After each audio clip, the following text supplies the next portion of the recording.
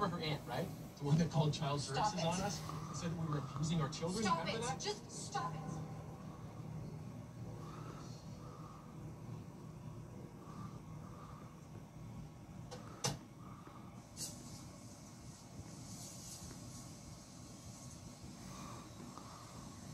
Help me, Wolf.